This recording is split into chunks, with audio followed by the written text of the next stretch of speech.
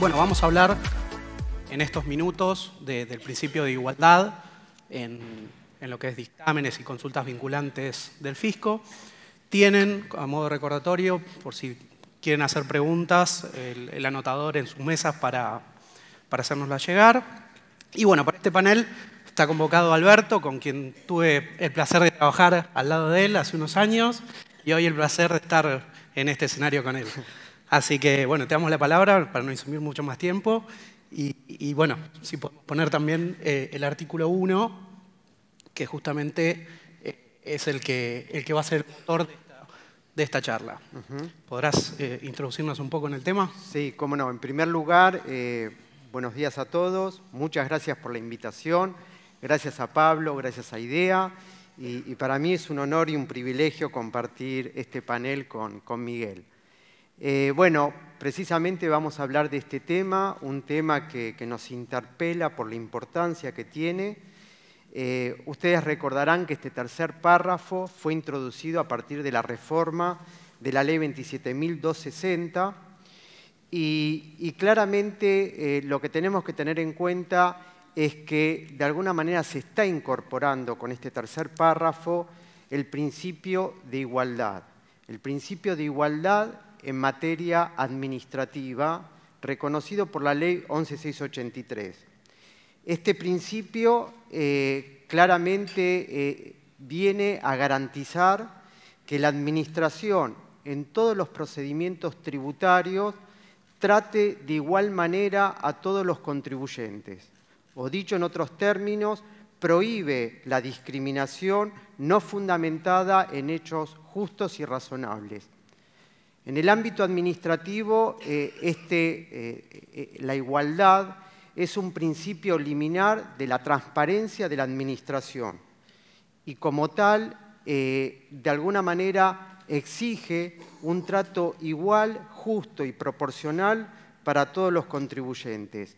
Dicho en pocas palabras, lo que intenta introducir este tercer párrafo es el principio por el cual todos debemos ser tratados de manera igual o evitar la discriminación no fundamentada, como les dije.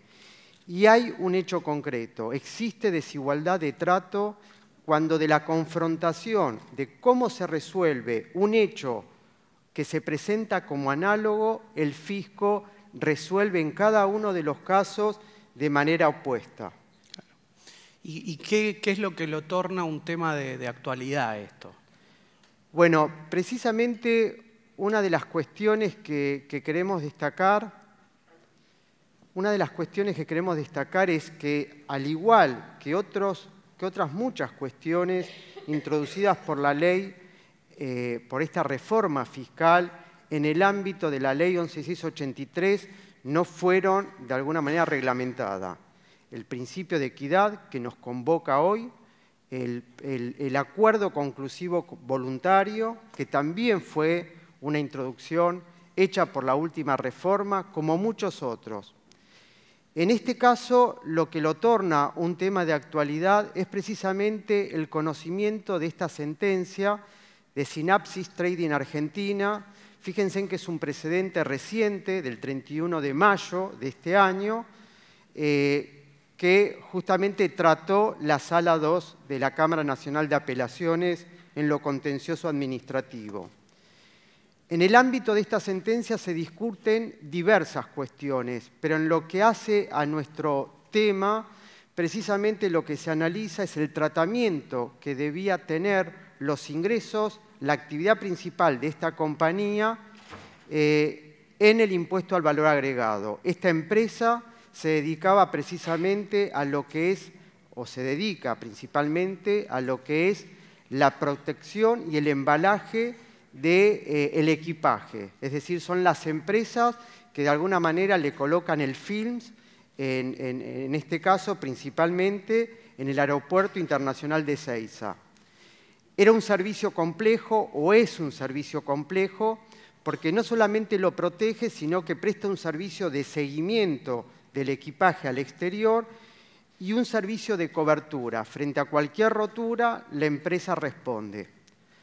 Lo que se discutía en este, en este precedente es precisamente si esto constituía o no una exportación de servicios.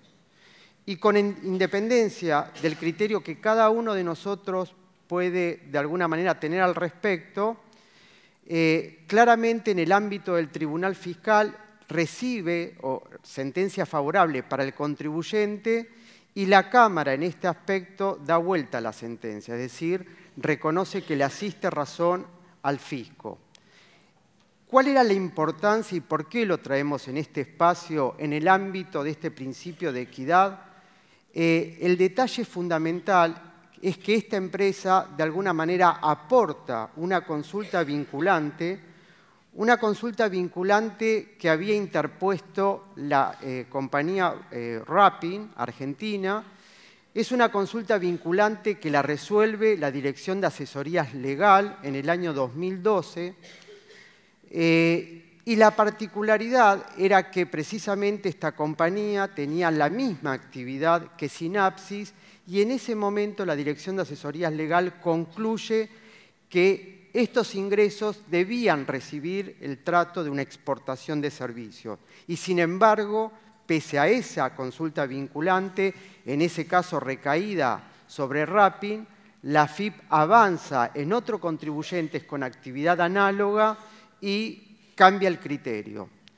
Eh, la particularidad de la sentencia de Cámara es que pone en evidencia la importancia que tenía la Resolución General 1948, que es la que reglamenta el régimen de consulta vinculante, y uno de los primeros aspectos que destaca es que la compañía Sinapsis no podía oponer como argumento esa consulta vinculante toda vez que no la vinculaba a ella con el fisco y que además de alguna manera existían ciertas divergencias en cuanto al servicio que hacían que no se debía extrapolar automáticamente las conclusiones. Sin embargo, ni el propio fisco ni eh, los sentenciantes de la sala 2 destacan cuáles eran los argumentos, las cuestiones de hecho que hacían que los casos fueran divergentes. Eh, lo que nos sorprendió en los ámbitos especializados en los que hemos analizado este dictamen, este, este precedente, es que por supuesto se resuelve con posterioridad a la reforma, porque es un precedente de este, este año. Y sin embargo, este artículo 3 que hoy traemos a este espacio, este artículo primero, tercer párrafo, mejor dicho, que traemos a este espacio, no fue nombrado y los camaristas hicieron foco en el temperamento y los principios que surgen de una resolución que desde nuestra perspectiva es una resolución desactualizada, una resolución que consagra solamente los efectos vinculantes para el contribuyente que interpone la consulta, cuando en rigor para nosotros a partir de este tercer párrafo, lo que está haciendo la ley es resignificar la vinculación de esa consulta con relación al universo de contribuyentes que presenten situaciones análogas a las consultadas. Y bueno, nosotros sabemos que la igualdad, la equidad son principios que están incluso consagrados constitucionalmente, ¿no? Pero ¿qué, motores o qué pilares fueron los que impulsaron que se los metiera en la ley 11683, se los receptara directamente en la ley de procedimiento? Sí, uno eh, en ese sentido tiene que recordar que desde los últimos años eh, el sistema lo que intenta incentivar es el cumplimiento voluntario de las obligaciones por parte del contribuyente. Pero de alguna manera este motor tiene un deber para con la administración que es precisamente asistir y informar a ese contribuyente, a esos contribuyentes, a nosotros como contribuyente, precisamente para alivianarnos esta carga del cumplimiento voluntario de las obligaciones. En este contexto eh, se reconoce que el fisco tiene un deber de asistencia, un deber de asistencia para con los contribuyentes. Y dentro de ese deber de asistencia para, para los contribuyentes está el deber general de información. Esto significa que la FIP tiene la obligación no solo de sistematizar el marco jurídico vigente, sino también de dar a publicidad los dictámenes o la jurisprudencia administrativa. Esto significa las respuestas a las consultas, las respuestas a las consultas vinculantes y eh, a todo lo que es el marco de lo que constituye el cumplimiento voluntario. Eh, en este sentido, lo que se le exige al fisco es, en definitiva, que cuando resuelva una consulta y lo haga con efectos vinculantes, esos efectos vinculantes automáticamente se le traslade no solo al contribuyente que consultó y por supuesto para las obligaciones futuras, sino también para las obligaciones pasadas de ese propio contribuyente. Y no solo para el propio contribuyente, sino para el universo de contribuyentes que tengan situaciones análogas a las consultadas. Eh, esto está reconocido internacionalmente. Hay, para quienes quieran profundizar, un congreso tributario celebrado en el marco del Consejo Profesional de Ciencias Económicas en el año 2003, que justamente fue uno de los temas en debate y ya en ese momento, mucho antes de este cambio normativo, se establecía que justamente en razón del principio de equidad, no era eh, de alguna manera admisible que solamente una consulta vinculante vinculara al fisco con aquel que había presentado la consulta. La consulta vinculante debe ser vinculante para el fisco, exclusivamente para el fisco. De lo contrario, de alguna manera se le niega al contribuyente el derecho de la tutela efectiva. Y si ustedes recuerdan en la práctica cómo funcionan las consultas vinculantes, de hecho es así, porque aún cuando yo como contribuyente haya obtenido una respuesta que es negativa para mis intereses, si bien de alguna manera tengo la posibilidad de apelarla al Ministerio de Economía, eh, en definitiva, aun cuando el Ministerio de Economía convalide las conclusiones del fisco, yo puedo apartarme de esas conclusiones y tendré que quedar a la espera de un proceso determinativo de oficio que materialice en definitiva la obligación tributaria que el fisco pretende para el caso concreto.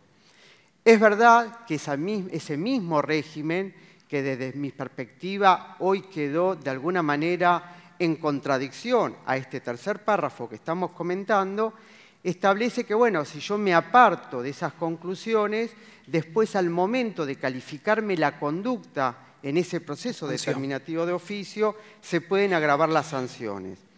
Pero sí es como que hay una idea transversal a lo largo de los distintos sistemas que la consulta debe ser vinculante exclusivamente para el fisco. Bien. ¿Y notaste algún antecedente tangible, digamos, que inspirara esta modificación normativa? Bueno, precisamente uno de los motores que inspiró la reforma eh, eh, en la ley 1183 fue el modelo de código tributario elaborado por eh, el CIAT, ¿no? por, el Centro de, las Administraciones Tributarias, en donde Argentina forma parte de ese centro. En este punto, justamente el modelo de código tributario, de alguna manera, eh, sugiere que las consultas vinculadas, vinculantes, eh, en función al principio de igualdad, sea vinculante exclusivamente para el fisco y automáticamente sea trasladable a cualquier tipo de contribuyente que presente situaciones, por supuesto, análogas al tema que se está tratando. Eh, se establecen que de alguna manera no se impongan requisitos que restrinjan la posibilidad de presentar consultas vinculantes. La Resolución General, 1948, a la luz de eh, estas recomendaciones quedó muy restrictivas porque hay situaciones que como contribuyente me saca del juego de presentar una consulta vinculante, como por ejemplo una fiscalización, el tema susceptible de ser consultado. Por supuesto, tiene que ser un tema propio y concreto, no, se puede de alguna manera eh, consultar de manera genérica.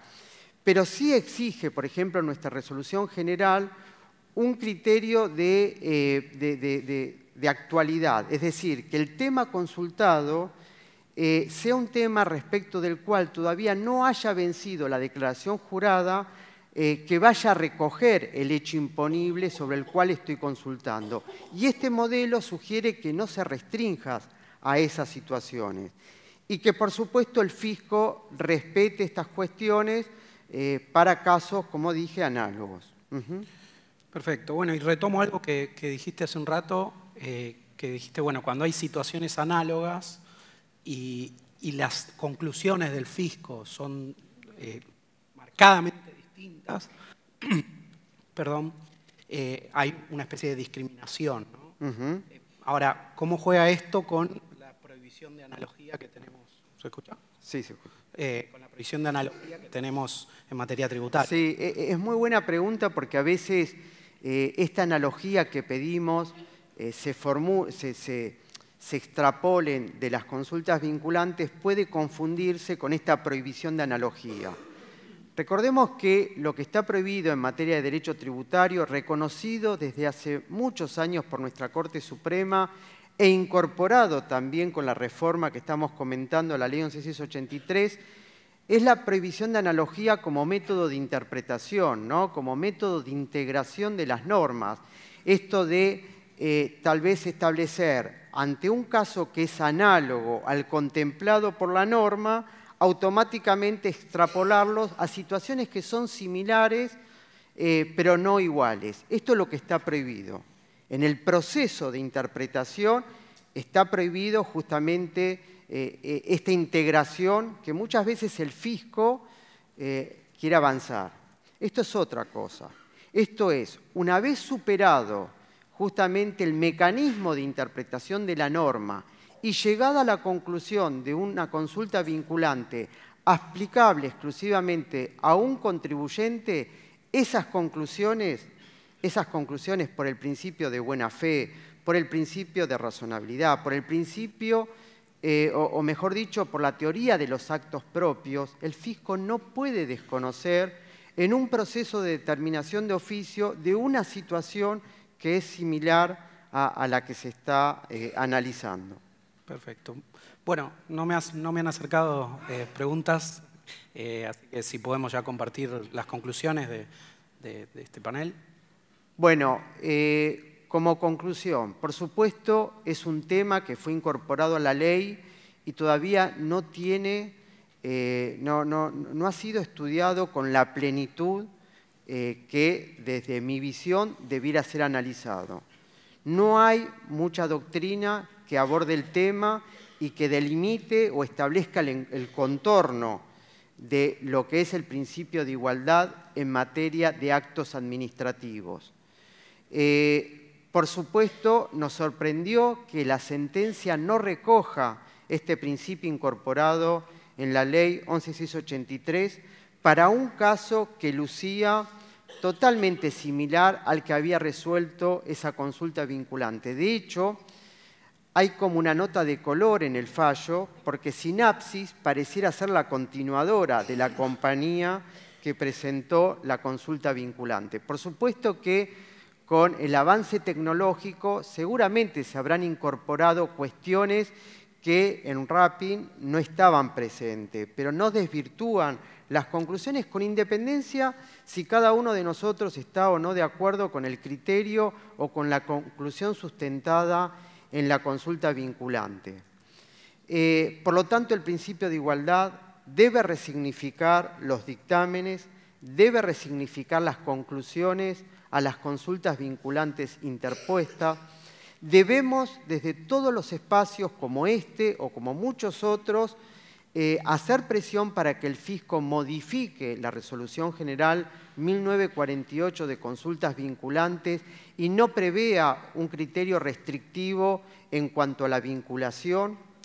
Debemos hacer también, eh, eh, de alguna manera, que se nos garantice el deber general de divulgación de acuerdo a la orientación que tenga el administrador tributario muchas veces tiene un criterio mucho más eh, abierto que otros eh, en muchas gestiones anteriores no se conocían las respuestas a consultas vinculantes dadas por el organismo como consecuencia de una política que bajaba a las distintas... Ahora algunas están publicando un extracto, digamos, no, no la consulta, la respuesta entera, donde están los fundamentos.